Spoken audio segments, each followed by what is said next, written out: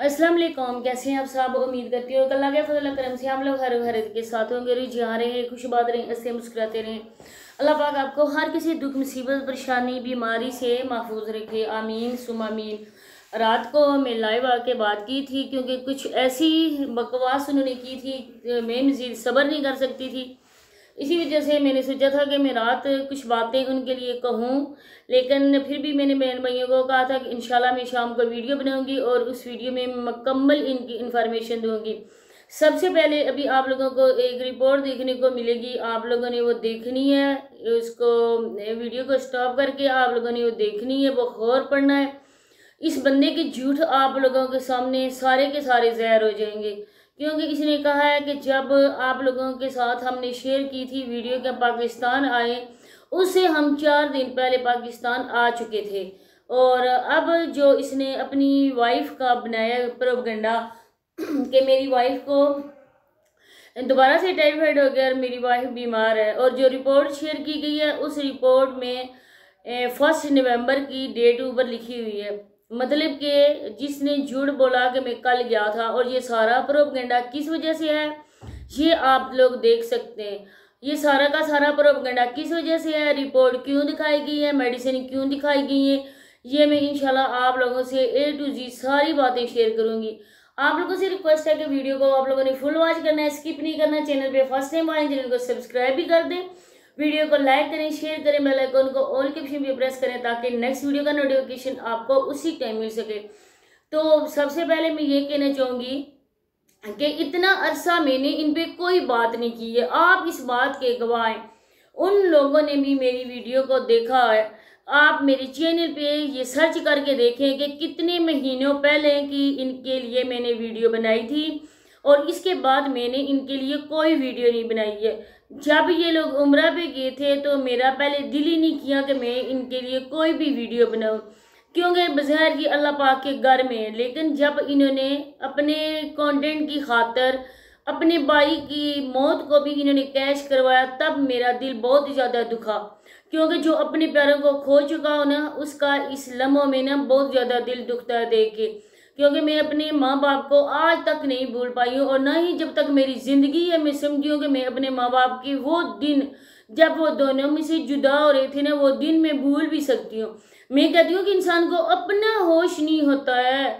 तो इतना होश होता है कि आप लोगों ने ना, दोनों ने डिसाइड किया होगा ना, दोनों मियाँ बीवी ने, कि हमने ऐसा करना है कि कैमरा हम लोगों ने रिकॉर्डिंग पे लगा देना है। तुमने रोना है, मैंने तुम्हें दिलासा देना है। ये बातें आप लोगों ने एक दूसरे के साथ जब शेयर की ना, समझो आप इंसानियत के दायरा कार से बिल्कुल खारिज हो चुके हो। क्योंकि जैसा भी था अच्छा था, बुरा था, इन बहन भाइयों के ताल्लुकात कैसे थे, वो तो एक अलग सिस्टम है, लेकिन उसके साथ का पैदा हुआ था। उसके और इसने एक ही माँ का दूध पिया था, एक ही माँ के बतन से इन्होंने जन्म लिया था। और जब एक ही मास के आप पेड़ से जन्म लेते हैं तो फिर मैं कहती हूँ कि वो कैसे आप बोल सकते हैं? अगर माँ बाप से प्यार है तो जहरी बात है कि अपने बहन भाइयों से भी प्यार होगा। तो फिर रबैंडी, आपका दिल कैसे चाह कि आप पूरे सोशल मीडिया के सामने रो के दिखाओ? हम लोगों ने नहीं कहा था, बाखुदा हम लोगों ने ये नहीं कहा था, सोचा भी नहीं था। कि राबिया आंटी अपनी भाई की मौत को भी कैश करवाएँगी। वो उस कैमरे के सामने रो कर लोगों को दिखाएगी, मैं इतनी ज़्यादा दुखी हूँ। इसके बाद ही सब लोग यही तो कर रहे थे। हम लोगों के जहनों में भी यही था कि राबिया आंटी और अहमद अंकल जब पाकिस्तान आए तो वो सीधा अपने जाएगी मायके, क्योंकि वो अपने छोड़े बाबी को छोड़े, और किसी को छोड़े। वो अपने भतीजे और भतीजियों के सर पे हाथ रखेगी। जो भी उसकी बहनें ज़िंदा हैं या भाई उसके और भी हैं तो वो उनके साथ मिलकर अपने भाई का गम शेयर करेगी। लेकिन इस औरत ने तो झूठ की हादी ख़त्म कर दी। जो औरत इस तरह की बातें कर सकती है ना, इतनी अपने व्यूवर्स के साथ बदतमीजी कर सकती है, आप देखें वो बैक कैमरा अपने गाँव वालों के लिए किस तरह की होगी। हमेशा से हमें ये रिपोर्ट्स मिलती हैं कि जो राबे है, उसका बिहेवियर अपने गाँव वालों के साथ अच्छा नहीं है। अब इन्होंने कहा कि हमने पूरे विलेज वालों के लिए गिफ्ट लिए, लेकिन विलेज वाले कह रहे हैं कि हमें आज तक एक फूटी कोड़ी नहीं दी गई। ये हमें गिफ्ट देगी। आप लोगों ने उम्र करके आते ही फ़ौरन साथ आप लोगों ने झूठ बोले। पहले राबिया ने कमेंट किया उर्दू में कि मैं दूसरे दिन गई थी अपने भाई की उर्दू तजियत करने। इसके बाद कल बंदा ये बोल रहा था हाँ जी, अब मैं क्या करूँ? आप मुझे बताएँ, मैं क्या करूँ? मैं कैमरा लेकर उसके घर में जाता। तो तुम्हें किसने कहा था कि कैमरा लेकर अपनी एक एक चीज़ शेयर करो? तुम लोगों ने जो भी उधर खाया, पिया, वो तुम लोगों के पेट में बाद में गया। पहले सब लोगों ने देखा, सब लोगों ने तुम्हारे नवाले गिने।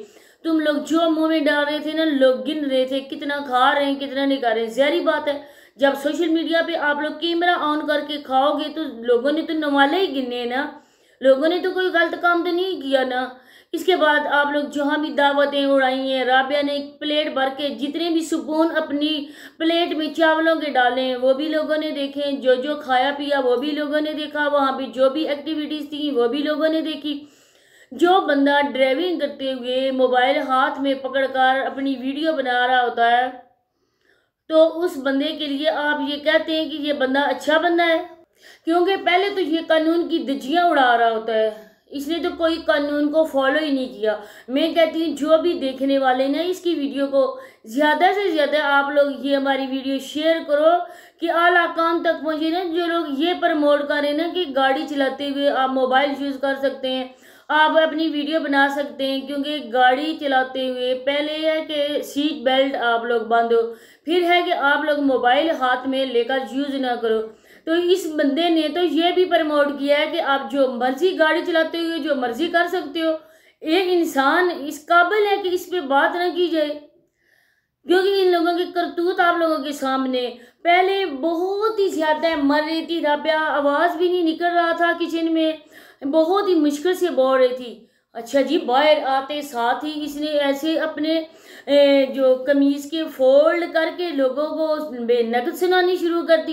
क्यों लोग तुम्हारे घर से खाते हैं रब अभी भी लोग तो अपने घर से खाते हैं, उल्टा लोग तुम लोगों को खिलाते हैं। आज आप लोग जिस जगह पे हो ना, ये लोगों की वजह से ये उन व्यूज़ देते हैं जो आप लोगों को। कराची में थे, लोगों के घरों में जाके खुशामद करते थे, हमारे साथ वीडियोस बनाओ।